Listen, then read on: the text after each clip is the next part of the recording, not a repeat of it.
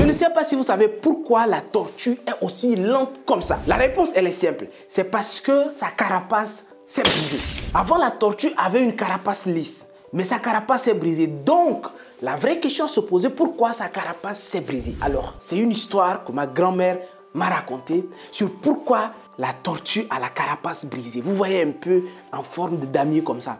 C'est parce qu'il y a une explication. Les amis, tout ce qu'on fait dans la vie, il y a une explication. Il y a des personnes qui sont lentes dans la vie aujourd'hui, n'avancent pas très vite. Ils sont là depuis longtemps. C'est depuis 10 ans qu'ils ont un boulot. Ils travaillent, mais on, se rend compte que les choses n'avancent pas vraiment. Ils ont peut-être une moto depuis 5 ans qui n'arrive pas à changer. Il y a tellement de choses que vous observez certaines personnes. Vous voyez qu'il y, a une lenteur dans ce qu'ils font. Dit que leur vie de façon générale est lente. Vous ne vous posez pas la question de savoir comment ça s'est passé. Dans cette vidéo, à la lumière de l'histoire de la tortue, je sais que certaines personnes connaissent cette histoire, mais je vais quand même vous la raconter parce que vous allez voir à la lumière de cette histoire quelle leçon vous allez tirer. Moi, personnellement, j'ai tiré une leçon très très importante que je vais partager avec vous dans cette vidéo. Donc, installez-vous confortablement parce que nous allons aller dans les vraies choses, dans la profondeur de l'histoire de notre amie Madame la Tortue. Mais les amis, avant d'aller plus loin, pour les personnes qui viennent de découvrir cette chaîne, ça s'appelle Vivre et réussir en Afrique. Moi, mon nom, c'est Justin Mortodé. Mon travail au quotidien, c'est d'accompagner concrètement les jeunes Africains à gagner beaucoup d'argent grâce à Internet. Donc, si toi également, tu veux faire partie des futurs millionnaires que je vais créer, parce que j'en ai déjà créé plusieurs. Dans mon équipe, il y en a plusieurs déjà qui gagnent minimum 1 million de francs CFA par mois grâce au marketing digital, grâce à la vente de produits et de services sur Internet, grâce au marketing relationnel et aux investissements, notamment immobiliers et crypto-monnaies. Donc si toi également, tu regardes ces genres de vidéos, alors là, je suis convaincu, je suis vraiment convaincu que tu cherches deux choses. La première chose, tu cherches à développer tes capacités, donc tes compétences et élargir ton réseau. Parce que c'est seulement avec les deux mis ensemble que tu pourras gagner beaucoup d'argent. Et c'est seulement avec beaucoup d'argent que tu peux réellement changer ta vie. Tu es donc au bon endroit, abonne-toi, like et surtout partage ces bonnes nouvelles-là autour de toi. On va fermer la parenthèse et revenir au sujet principal de cette vidéo avec notre amie Madame la Tortue. En réalité, cette histoire, c'est l'histoire du coq, du canard et de la tortue. Le coq et le canard étaient invités pour aller manger dans les airs. Alors, ils ne savaient pas exactement, ils avaient l'adresse, mais ils ne savaient pas exactement là où ça se trouvait. Donc, ils étaient sur Terre en train de chercher des informations. Donc, c'est comme ça qu'ils sont tombés sur Madame la Tortue. Ils disent à Madame la Tortue que nous sommes, en train, nous sommes invités à une fête pour aller manger, ainsi de suite. Mais malheureusement, on ne connaît pas exactement là où ça se trouve. Madame la Tortue, il dit que faites voir l'adresse. Oui, exactement, je connais l'adresse là. D'ailleurs, moi-même, là, on m'invite souvent pour aller manger là-bas. Malheureusement, même aujourd'hui, je devais partir, mais hier, j'avais prêté mes plumes à quelqu'un qui était parti, qui devait revenir ce matin pour que ce soir, que moi aussi je parte. Malheureusement, la personne n'est pas encore revenue. Donc, si vous pouvez me prêter deux plumes, deux plumes, comme ça, on va ensemble parce que même moi, je cherche à aller là-bas. Ah, le coq et le canard disent, mais ça, ça, ça tombe bien ça. Ils donnent deux plumes, chacun prête deux plumes, deux plumes à Madame la Tortue et les voilà en chemin en train d'aller à un événement festif. Ils vont aller manger. En cours de route, Madame la Tortue dit aux deux amis, coq et euh, canard que écoutez, là-bas les gens ils mangent par nom. Donc si vous n'avez pas de nom, on ne vous donne pas à manger. Donc il faut qu'entre nous on définisse déjà que chacun ait un nom. C'est comme ça que le monsieur le coq il dit que voilà, moi je m'appelle monsieur le coq, monsieur le canard il dit que je m'appelle monsieur le canard et la tortue qui dit que voilà, moi on va m'appeler vous tous. Voilà le nom qu'il s'est auto-donné pour arriver là-bas. Arriver là-bas, au niveau du protocole, on amène la nourriture, on dépose la nourriture et on dit que ça c'est pour vous tous. Alors, dès qu'on dépose le protocole qui vient déposer la nourriture et qui repart, Madame la tortue qui se retourne vers le poulet, vers euh, Monsieur le coq et Monsieur le canard, il a dit que voilà, en tout cas ici, chacun va avoir pour lui. Ça, on m'a amené pour moi, comme, je suis Monsieur vous tous, ça c'est pour moi. Après, on va amener pour euh, Monsieur le canard, on amènera également pour Monsieur le coq. Il n'y a pas de souci. Madame la tortue, Madame vous tous a fini de manger. Après, le protocole revient pour prendre les assiettes. Il dit donc vous tous, vous avez bien mangé. Madame la tortue qui se précipite et dit que oui, oui nous, avons, nous avons tous bien mangé. Après, vers la fin de la soirée, Monsieur le coq qui attend toujours sa part, il n'y a rien. Monsieur le canard qui attend toujours sa part, il n'y a rien. Et à la fin, on dit que voilà, merci beaucoup d'être venu, ainsi de suite. Et c'est là que Monsieur le coq et Monsieur le canard se sont rendus compte que Madame la tortue s'est autoproclamée, vous tous pour manger à seul. Très en colère, Monsieur le coq et Monsieur le canard ont repris leurs plumes. Et c'est comme ça qu'ils ont laissé tomber Madame la tortue au sol. Donc des airs, ils tombent sur la terre et c'est là qu'ils brisent Madame la tortue. Elle brise sa carapace et comme ses carapaces sont liées directement à ses pattes, elle ne peut plus avancer et, la voilà désormais en train d'avancer très lentement. Voilà cette histoire que ma grand-mère m'a racontée. Paix à son âme. Ma grand-mère, elle aime trop me raconter des histoires avec des animaux, ainsi de suite. La chèvre, le lièvre, ainsi de suite. L'hippopotame a fait des choses. Voilà aujourd'hui une histoire également que ma grand-mère vient de me raconter. Le coq, le canard et la tortue et les deux leçons qu'on va tirer aujourd'hui dans cette histoire. J'allais dire une leçon parce que bon, le temps ne me permettra pas de vous dérouler tout, mais je pense que vous pouvez vous-même tirer la deuxième leçon. La première leçon que ma grand-mère laisse quand elle m'a raconté cette histoire, la première leçon, elle me dit que si tu veux avancer dans la vie, évite de te penser ou bien évite de te croire plus malin que les autres. C'est une leçon que jusqu'à aujourd'hui, plus le temps passe, je me rends compte que cette leçon est encore d'actualité. Si tu veux avancer vite, il faut éviter de te croire plus malin que les autres. Et ça, j'ai lu très récemment encore dans un livre de Jordan Peterson, 12 règles pour une vie. Dans une des règles, il dit allez-y du principe que la personne qui est en face de toi en sait autant que toi. C'est-à-dire que dans la vie, il ne faut pas rencontrer des gens comme... Parce qu'il faut savoir que de façon générale, il y a trois attitudes lorsque vous vous avez affaire à quelqu'un ou bien dans un business, peu importe. Soit tu te crois inférieur à la personne, là c'est comme tu perds confiance en toi, ça c'est la première manière de d'être en face de quelqu'un, selon toujours Jordan, Jordan Peterson. Tu te crois en dessous de la personne, c'est pas bon. Tu te crois au-dessus de la personne, c'est pas bon.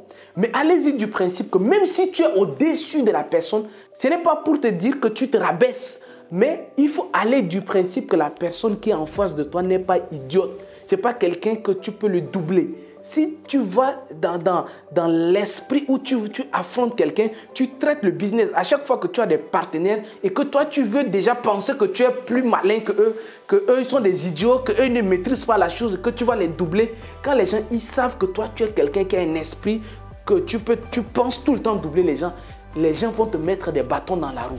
Étant donné que l'argent que tu veux est avec les gens. Donc si toi tu penses déjà que tu peux doubler les gens, les personnes ne sont pas idiotes. Ton argent est avec eux. Donc il faut savoir te comporter. Et ça, ça me ramène à une leçon que je partage très très souvent avec les personnes de mon équipe.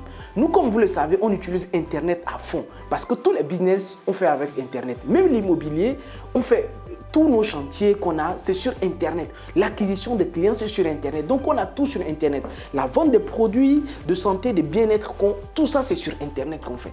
Donc, nous, on utilise Internet à fond pour faire du business. Donc, il faut qu'on comprenne la psychologie. Sur Internet, il y a une chose que j'ai compris lorsque j'ai compris, lorsque je me suis remémoré de l'histoire de la tortue. Sur Internet, il faut savoir comment les gens y réfléchissent. Si quelqu'un te contacte aujourd'hui pour acheter un produit ou un service avec toi, sache que la personne a commencé son processus d'achat avant de te contacter. C'est-à-dire que pour acheter un produit avec toi, la personne va contacter plusieurs personnes. Donc les gens se sont informés, se sont documentés. Ce que tu penses que tu es expert dedans, la personne n'est pas experte, mais a une idée quand même. Donc si toi tu viens avec un esprit que la personne, euh, que la personne ne connaît rien et que tu vas lui doubler, tu te trompes. Les gens ne sont pas idiots.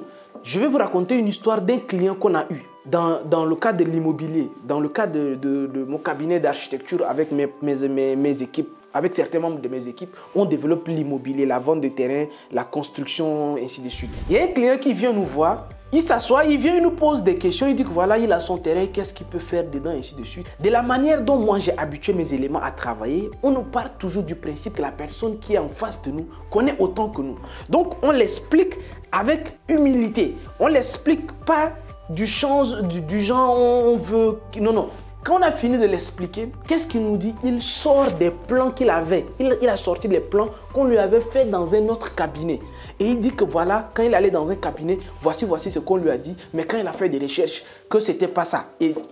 Malgré qu'il a fait une avance dans l'autre cabinet, il ne veut plus repartir. Parce que lui, il ne veut pas travailler avec des gens. Dès le départ, déjà, il y a des choses qui sont floues, il y a des informations qu'on ne lui a pas données. C'est comme ça qu'il a fui les gens. Il, il cherche d'autres. Et je suis sûr que nous, on n'est pas le deuxième cabinet. Peut-être qu'il a cherché d'autres. Il, il s'est renseigné auprès de beaucoup d'autres personnes avant même d'arriver. Et peut-être même qu'il a rencontré d'autres architectes, d'autres ingénieurs ou bien d'autres entrepreneurs avant de nous rencontrer. Et ça, c'est très important dans tous les domaines, dans un business, si vous voulez faire du business et réussir dedans, voici le secret. Ne, faites pas ce qu'on vous voulez duper les gens. Et ça, il faut le comprendre une fois pour toutes. Vous ne pouvez pas duper quelqu'un. La personne vous a fait confiance, c'est tout. Si quelqu'un, il vous a donné son argent, ou bien quelqu'un, il vient vers vous, c'est parce que la personne vous avait fait confiance, c'est tout. Si un garçon, ou bien une fille, donc on va dire que si un homme ou une femme est avec toi, c'est parce que la personne te fait confiance. C'est tout. La personne n'est pas idiote. Si la personne essaie de traiter ou bien la personne veut traiter avec toi, c'est parce que la personne te fait confiance. La personne n'est pas dupe. Donc si toi tu as pensé ou bien tu penses tout le temps dribbler la personne, tu es malhonnête, c'est tout.